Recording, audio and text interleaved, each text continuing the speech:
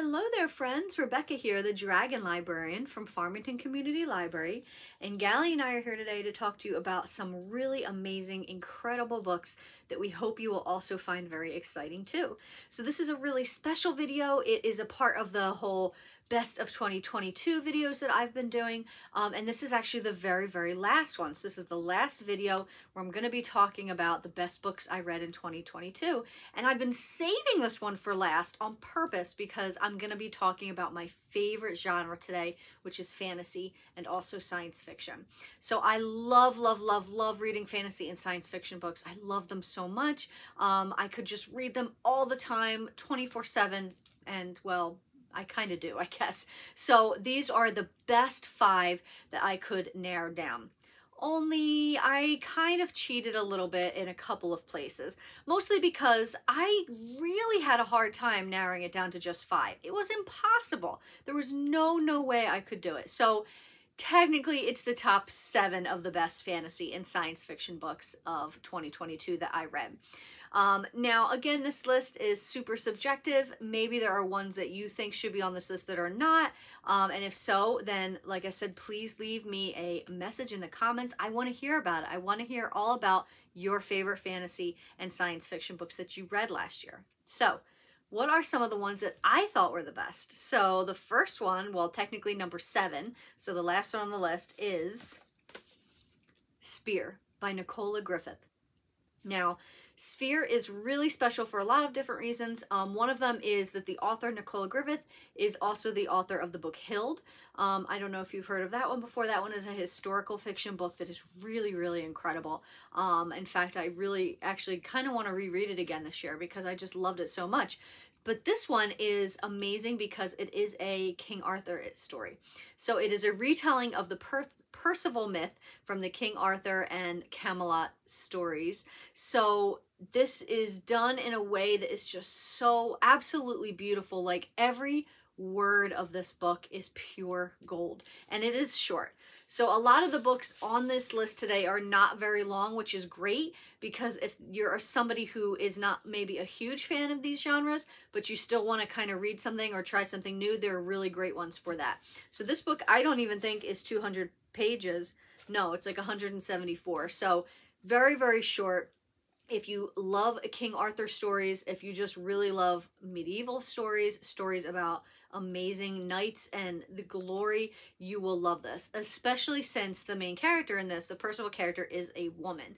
So she is a woman who just basically has this great, like her life is in her own hands. She does what she wants to do, and it is absolutely amazing. Spear by Nicola Griffith. All right, that was number seven. So, number six, The Book Eaters by Sunyi Dean. The Book Eaters. So I knew this one was going to be good when I read the blurb at the top that said, I devoured this by V.E. Schwab. V.E. Schwab is one of my favorite contemporary authors in the entire world. I love, love, love her so much. So anything that she thinks is really good, I just know that I'm going to love too. And I did. This book was really unique. It was so different in a lot of ways that is just it's not was not any like anything I've ever read before. So basically, this book uh, deals with a a group of these people, this line of people who have a very peculiar appetite. So what they actually feed on instead of food is books. And that is not meant like figuratively, it's literally, they literally eat books. They have second set of teeth that come down to, that can that can chew and consume books. And the really interesting thing is that they all books all taste different. So different genres taste like different things. So if you read like a, a mystery or adventure story, it's going to be like a peppery, spicy sort of sort of taste. Um, so the main character in this, Devon, she has been raised with the with these people, and basically as a girl, she grew up only being allowed to consume fairy tales. Now that's done for a very specific reason. Um, but you really, it's part of the story, so I don't really want to give it away. But it is done deliberately. So her and all the females in this um, in this group of people in this clan all consume fairy tales. Well, when she grows up, she has a son who has an even weirder appetite than book eating, and it is that he eats human minds. So he has to consume the brains and like the minds of people to survive. So she has broken away from her clan because this type of, of appetite is very dangerous, obviously. She's broken apart from her clan, sought freedom to try to protect herself and her son. And it is just such a really great story. So not only is it a really great story of like what a mother will do for her children, but it's also just a really great story of a woman finding her own autonomy and just breaking all these patriarchy bars that are set along her life even if it is in a fantasy setting even if it is something that's not anything you've experienced some of the aspects of it are very very relatable really great book super fantastic the book eaters. And also like really so unique like i said like the whole like eating books thing. Like i don't know about you but after i read this all i could think about was i wonder what this book would taste like or i wonder what this book would taste like. No i'm just kidding. I wouldn't really do that. Or would i? So the book eaters. Give it a shot. It is really fun. Um so now we are in the top five now. We've narrowed it down got rid of the top two the last two so book number five is The Kaiju Preservation Society. So this book is by John Scalzi. If you don't know who John Scalzi is, he is a science fiction writer who is amazing. Not only are his stories really fantastic in general, but they're super down to earth in terms of they don't get over bloated with a lot of scientific terms. They don't try to drag you down with like the terms and the and the language and things like that. Sometimes science fiction books can get very wordy and they can get very dense and they can get very confusing. Um, but his books are never ever like that. They're super accessible for anybody that wants to pick them up and just enjoy them. And they're also hilarious. And his book is probably one of my favorites of his, and it was one of the funniest books I've read this entire year. So this book, try to imagine a cross between Jurassic Park and Godzilla. And you've got basically the idea of this. So the main character of this has just been uh, been out of work. He is lost his job and he's really down on his luck, doesn't know what to do. One of his friends is a part of this society and he says, you know, we're looking for somebody. Um, maybe you would be a good fit and he does and basically this society to really wrap this in a, a, nutshell is that there are parallel worlds and the one parallel world that this group has access to contains all these huge monsters. And they have to research and protect these monsters because sometimes the things that happen to them in that world can happen to ours and they can cross over and things like that so the main character is not going to be a scientist. He's not, he's literally going to do grunt work. So he's there to help carry equipment. He's there to help lift boxes and things like that. He's there to help them set up and break things down, which is really cool because you're seeing the story from like a layman's point of view, which is really fun and interesting. The situations that and shenanigans that happen in this book are so, so hilarious. I highly recommend it, especially if you don't like taking yourself too seriously, if you like humor and fun um, storylines along with your science fiction, please, please give this one a shot because it is so funny. And also it's another one that's really short. In fact, this one doesn't even hit 250 pages. So really great. In fact, I was sad that it wasn't longer. I really wanted to spend more time with this book. Um, but it is so fantastic. Highly recommend the Kaiju Preservation Society. So, all right, now we're into the nitty gritty. We're on book number four. Now, this is another situation where I kind of cheated a little bit. And the way I cheated a little bit with this is that these books are actually, uh, it's two books that I'm counting as number four. But I'm totally allowed to do it because they are a duology. It's books one and two in a duology. I'm counting both of these books as one. Totally works. It absolutely works. So the books that I'm talking about are Daughter of the Moon Goddess, which is book one of this duology by Sue Lynn Tan, and Heart of the Sun Warrior which is the second book. So it's just these two books. Look, I just want to show you how gorgeous these two books are. Look at these covers. The, so these are the American versions of these books. I am obsessed with these covers. I think they are absolutely gorgeous. But if you'll allow me to just uh, flex for a moment here, I would also like to show you something else that is super gorgeous. The UK editions. So this is Daughter of the Moon Goddess and Heart of the Sun Warrior. And look at how they complement each other and they're so gorgeous in their own right. Oh, I'm obsessed with this. I'm very lucky to have a very dear friend that lives in England who is kind enough to gift me these two editions that are a part of my much beloved collection now. I love them so much. So what is this book? What is this duology that I keep ranting and raving about? So this is the Chinese myth and legend of Chang'e, the moon goddess, and her daughter Xingyin, who has to go on a quest to free her mother. So basically, the story is that her mother is imprisoned sort of on the moon um, because she drank the elixir of immortality, which was not, she was not, um, did not ask permission to do that, so she became an immortal. So her daughter Xingyin is with her on the moon. She's been hidden. Nobody knows that she exists until one day her power flares up and um, she has now been noticed. So she flees the moon.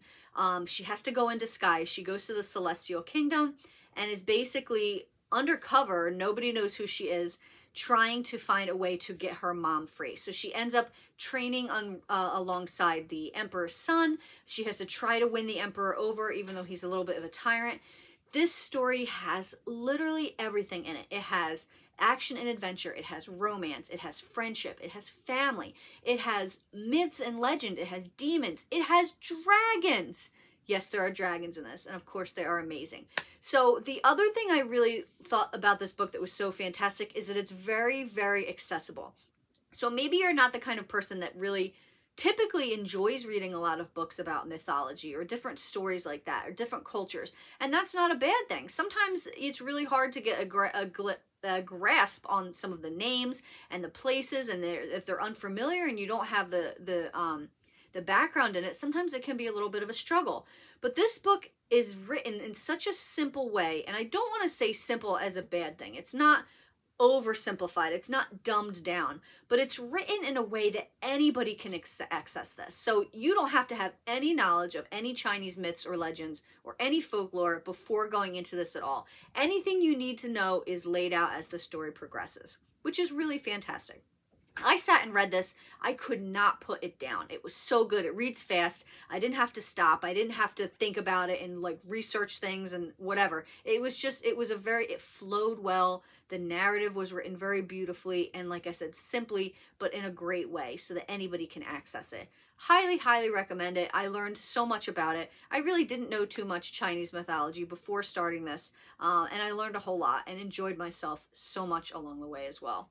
Daughter of the Moon Goddess. All right, we're down to the top three. Now, this was really, really difficult for me because I knew which top three books were going to make it, but I really wasn't sure what order I was going to put them in because I love the three of these books so much. It was really hard to try to decide which ones were the first, which was second, and which was the third. But I, but I finally made myself do it. Number three, Babel by R.F. Kuang, Babel. Now this one, I will tell you, is very big. This is a very thick, very big book. It is, I think, 800 pages. Uh, no, not, not quite. Um, but this is a really great, not only fantasy book, but also historical book. Um, so it takes place in England in the 1800s, specifically at Oxford University. Um, but the main difference between regular the regular world and this world is that there's a thing called silver working. And this is a magical process where you take pieces of silver and imbue them with magical powers um, through language, which is another thing that's really cool. So it's also, however, the story of colonization and the dangers of colonization. And basically, these group of students who are misfits um, have been brought to Oxford from different countries. Our main character is from China. Um, he, his best friend is from India, and they are going to be raised as Oxford students and become silver working. Um, you know, they're going to do this for their country, which is England. Um, but along the way, as they grow and and learn, they begin to question this process and begin to question the fact that was it even right that they were taken from their homes and brought here? They yes, they were given lots of luxuries and lots of things that they wouldn't have had otherwise. But is that does that really make it okay? And there's a lot of really great questions that are raised in this. This book is so fantastic.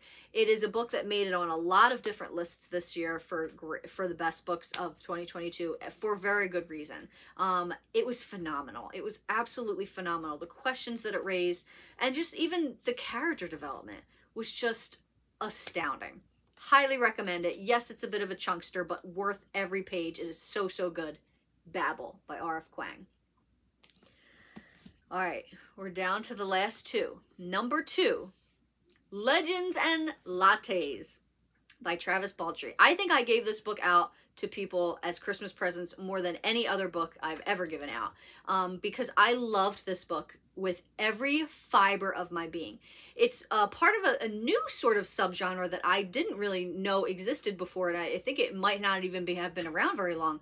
But it's cozy fantasy. So yes, it's fantasy. You have these characters, you have all this stuff going on, but it's set at like this really just sweet, beautiful atmosphere that just makes you want to curl up with a cup of tea and a, a pastry. And actually saying that, you cannot read this book. It is illegal to read this book without a pastry in your hand. You're going to absolutely want to have something on hand that is sweet, um, preferably cinnamon bun, but it doesn't have to be. Just something sweet. So basically, this is the story of this orc adventuress who she is tired of her adventuring ways. She's tired of being a warrior. All she really wants to do is settle down and open up her own coffee shop. Coffee is a thing that she tried when she's been adventuring. Not everywhere has it. So she wants to go to this city, start her own coffee shop and introduce the the world this part of the world to coffee so she does. She totally does. Um, but then she runs into some issues with with uh, some thugs and some other things and it's just a beautiful story. It doesn't sound like a lot. Like it doesn't sound like a high adventure. There's not these epic quests and fighting and things but it's beautiful and perfect and it's just so soft. It just will make you feel so soft in your heart. Highly recommend. Legends and Lattes. Look at how sweet this cover is, too. Oh, I love it. Okay. Number one fantasy book of 2022. What is it? Nettle and Bone by T. Kingfisher. I had to choose this one as number one. It just moved me in so many ways. Also, not very long, less than 250, yeah, about 230 pages. Um, I love everything about this. First of all, there is a dog in it made out of bones named Bone Dog, and he is the best dog in the world. You will love him to pieces. There is a chicken in this that is possessed by a demon. Super hilarious. This is another one of those books that has a lot of really deep, meaningful themes, but there's also so much gray humor in it too that it doesn't make you feel like you're overwhelmed by the darker themes. So this is about a girl named Marra who is in a convent she she was a princess and she just did not want to live that princess life. She got the good end of that straw though because her her elder sisters, the eldest, was married to this prince, and then she died. Kind of uh, mysterious circumstances. The same the second sister was then married to that same prince, and Marra's getting the understanding that this prince is a danger to her and her sister and that the first sister died through his hands basically so she has to now go on this quest to try to be able to rescue her sister from this evil husband of hers. It is so good. So she has to to find uh she has to do three different things. The first one is build a dog of bones, which she does, sew a cloak of nettles, and capture moonlight in a jar. And the friends she meets along the way and the companions are just absolutely amazing and make this journey even more worthwhile I love this book. Like I said, it's super funny, but it's also really great story of sisters and of women helping women and women empowering women. All things that I absolutely love. And the blurb on the back will give you just the perfect idea of what this book is. This isn't the kind of fairy tale where the princess marries the prince. It's the one where she kills him. Oh, so good. This was my first T. Kingfisher book, but I've been reading a lot more of her work after this because I just fell in love with her writing. Absolutely. So, so good. Nettle and Bone. Well, that's what I've got for you guys today. I hope that these books sound really interesting to you and might be something that you want to try out. If so, please feel free to check them out from Farmington Community Library. And like I said, also please, um, if you found books that you thought were great fantasies that I didn't talk about today, leave them in the comments. I want to talk to you. I want to hear about some of the books that you thought were the best ones that you read in 2022. Thanks so much for watching, friends, and have a wonderful rest of the day.